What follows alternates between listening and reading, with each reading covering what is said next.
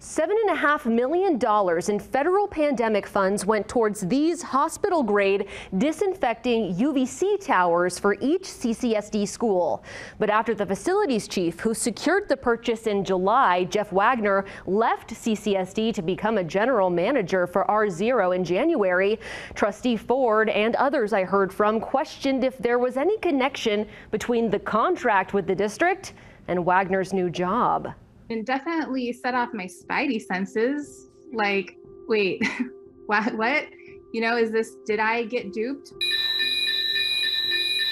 Even if they just one school and just gave us the chance to use the products in one school and make it a, a test case, they would see the dramatic difference. That's Jared Mendelson. I'll share more of his story shortly, but first, a look at these ARC devices. Maybe your child's seen one in their school's nurse's office. May of 2021, toward the end of a school year marked by distance education, CCSD needed a product that would improve indoor air quality so they could reopen schools in the fall. May is when Chief of Facilities at the time, Jeff Wagner, says he met and befriended R-Zero's co founder and president at the time time, Eli Harris. We know this from Wagner's post on R-Zero's blog, published soon after he started working for R-Zero in January of this year. In it, Wagner states, I met Eli in May of 2021 and immediately formed a friendship with him. He was adamant that I needed to join the company. In May, Wagner was still serving as the facilities chief at CCSD. According to Nevada Revised Statute 281A.400,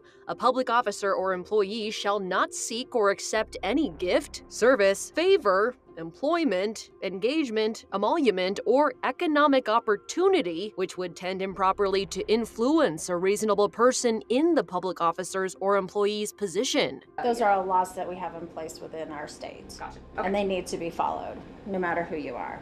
CCSD's own policy goes further. On May 20th, Wagner forwards Harris CCSD's custom breakdown of evaluations of their school's needs. On May 25th, Harris forwards Wagner an internal company email. In it, Harris writes, confidential and just for fun, and brags about poaching another one of his top company execs from a government agency. We're doing some pretty neat work, Harris tells Wagner. That same day, Wagner pays for the first ARC tower to pilot, nearly $25,000. This is when Wagner and Harris met with the district. By June 10th, Wagner had given R-Zero feedback on their pitch to the district. Harris tells him, Let us know if you need any air cover along the way. We're all on standby for you. Game time. Now, it's important to note as a general rule, Nevada state law requires an open bidding process for all purchases of more than $50,000. To give everybody a fair shot at acquiring those contracts. And so that districts are getting the best price and best value for our taxpayer dollars. To make sure that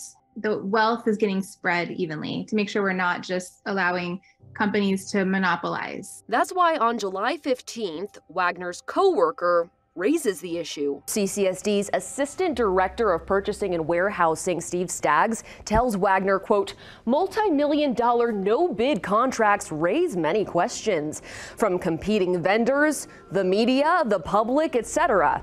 It would be hard to justify a sole source, but Plot twist, there is one workaround. It's something Staggs informs Wagner of in his email, writing, quote, Does the firm you want to pilot for for air purification have any other government contracts or perhaps a contract with a national purchasing cooperative?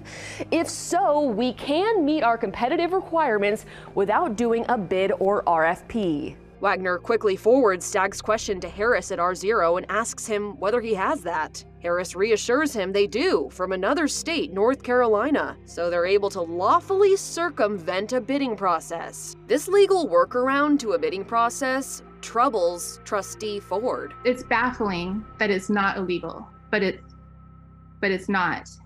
Um, it's, in my opinion, unethical and it's been relied on frequently. Top of mind, I would say about 80% of the money that comes through the CCSD is not competitively bid. More on that to follow. Also on July 15th, Wagner arranges an opportunity at a large scale schools summit in D.C. for he and Harris to make a public presentation to industry attendees about the ARC Towers. July 22nd, Staggs prepares this purchasing recommendation, cites justification for purchase as applicable statute that permits utilizing another government agency's bid, referencing state of North Carolina. July 26th, Staggs tells R-Zero he believes the facilities team's recommendation will need superintendent direction since they're, quote, making the purchase prior to board approval. August 5th, trustees were briefed in a closed session on the R-Zero purchase. I supported the item at the time, but there weren't any conflict of interest that I saw.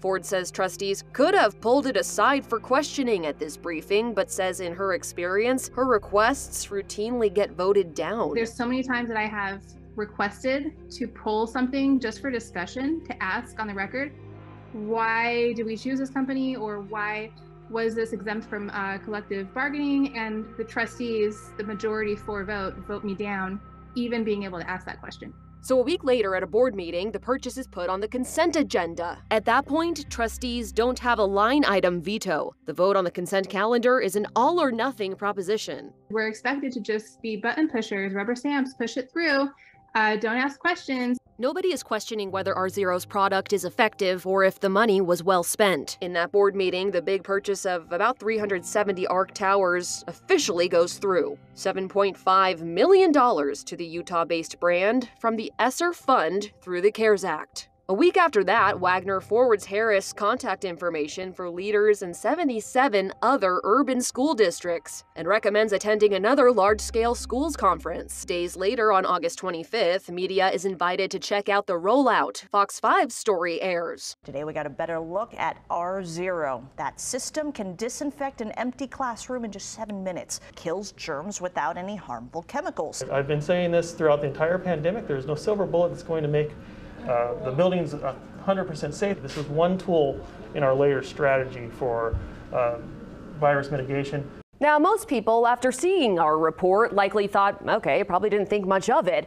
But for one Las Vegas man, he says seeing this on the news was a shock and disappointment. It was pretty devastating. A multi million dollar deal slipping through his fingers. Unfortunately, we didn't get any consideration for our product, even though we were supposed to be in the system and should have been contacted for that. So yeah. there was no bidding process as far as we knew. This Las Vegas man founded a UVC disinfecting technology business of his own during the pandemic. They sell a tower product similar to R-Zero's. My sister's a teacher. My mom's a retired teacher. My dad's a retired principal. All at CCSD? All at CCSD.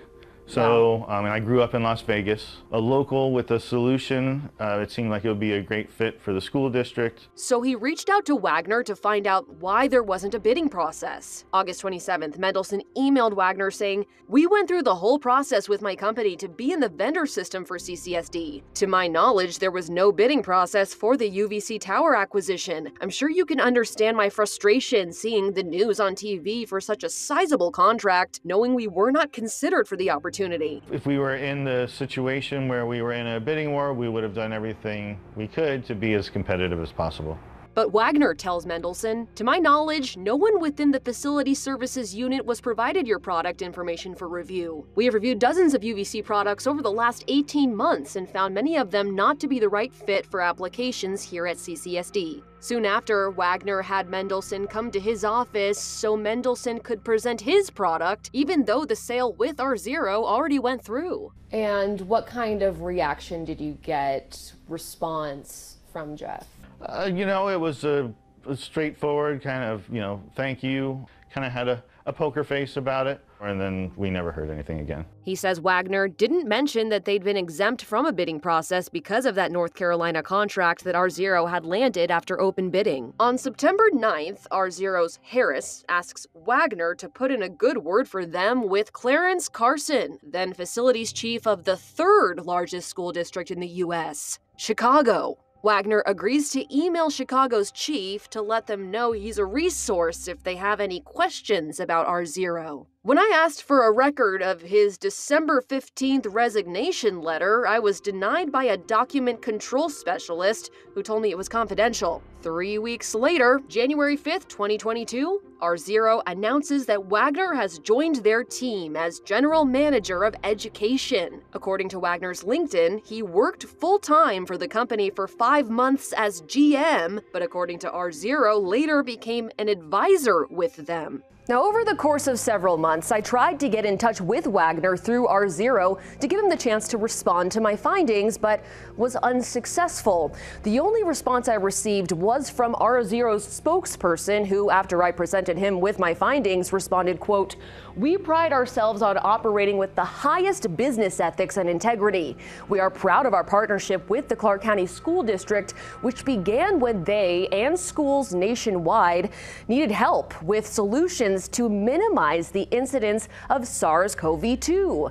Since then, our technology continues to make a difference in school buildings, helping protect the health and well-being of students, faculty, and staff in Nevada and across the country. Mr. Wagner currently serves as an advisor with R-Zero as we continue to work to provide solutions to school districts, hospitals, offices, retirement communities, restaurants, and many industries nationwide. I also reached out to Harris several times, but didn't hear back. So this summer, on June 22nd, 2022, I went straight to the top, both of the state and of its education system, and shared my reporting with the department's head honcho. That uh, needs to go to the AG's office.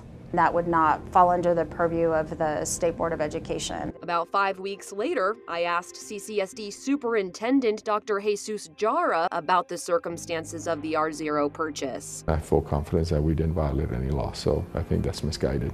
One thing's for sure.